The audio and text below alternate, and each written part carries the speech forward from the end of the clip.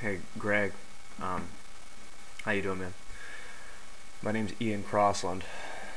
I've watched some of your videos recently. I just watched this one. Uh, I've been I've been trying to watch your videos, but I'm finding that I think very much the reason why I've been having a hard time really getting into it is because I don't think that you're calm. I don't know why people are saying. I mean, it's like a faux calm. It's it's you know, it's like a fake steely, cold exterior, and I think it's you're actually. You, it seems like you have a lot of anxiety and that you're on edge. Because when I watch you, I feel on edge. Like you got the furrowed brow, dude. You're carrying a lot of tension, and I mean, look what you're doing. You're you're hassling these people on YouTube to, for like power trip for like more subscribers for like power. It's just power. Why? Why are you doing it? Uh, I. It really it kind of it kind of bothers me. I've been intimidated by you. I think you're very intimidating. Have an intimidating mentality because probably because of the way you were treated as a kid.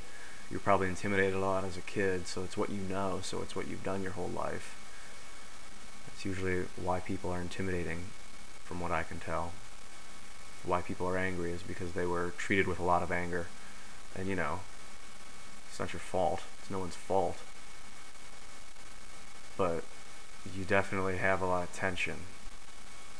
And dude, these people that you're hassling, like Renetto, Paul, and uh, Zen Archer, Poe, these, I don't think that they understand how to communicate with you. They just get angry in response. They just kind of like fight back, and I think that's it's like it's feeding it. Like you love it, and it's fucking. What is it? Why are you doing this? Cut it out, man. Stop. Stop. Focus your energy into yourself. Focus on yourself. This is, can be a really positive experience for you.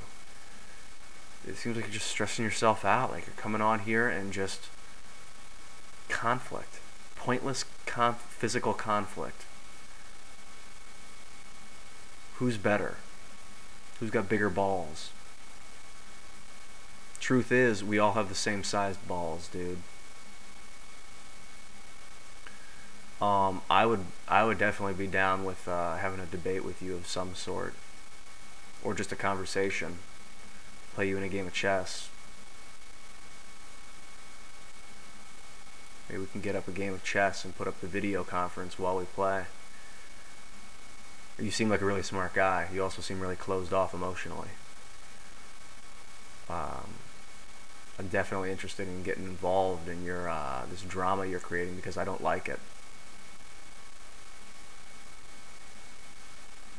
And uh, I want to ease the situation so that we can all communicate a little healthier because I think you're doing more damage than you realize. Talk to you soon, man.